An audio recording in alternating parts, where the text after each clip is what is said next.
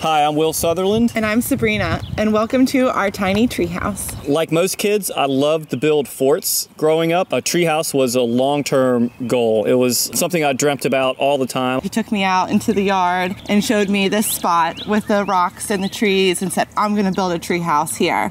She is actually a certified arborist. Her feedback on the health of the trees was instrumental to whether or not I would build the treehouse to begin with. When you're up in the treehouse, you're about 30 feet up in the air. There's windows on all sides, so you have a 360 view.